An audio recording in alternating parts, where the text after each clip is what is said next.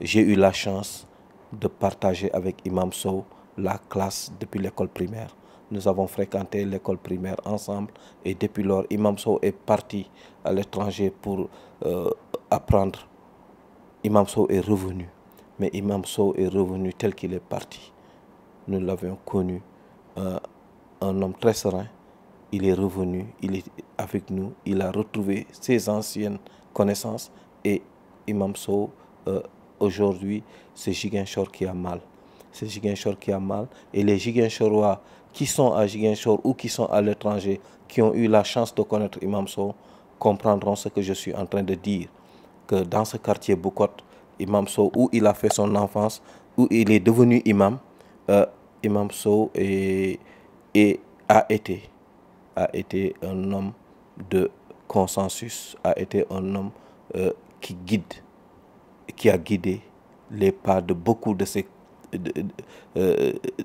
des gens de sa promotion, comme s'il était plus âgé que tout le monde, mais il, il donnait des conseils et dans la discrétion. Imam Sow est un homme de Dieu et c'est un homme de vérité.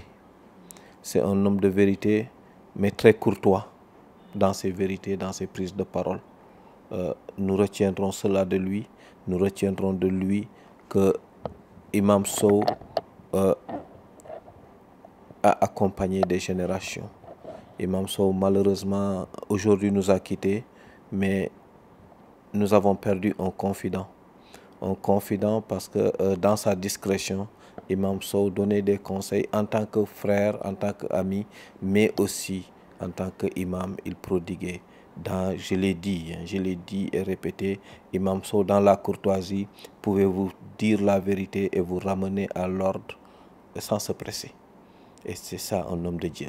C'est des valeurs que nous, que nous peinons à trouver aujourd'hui dans notre milieu.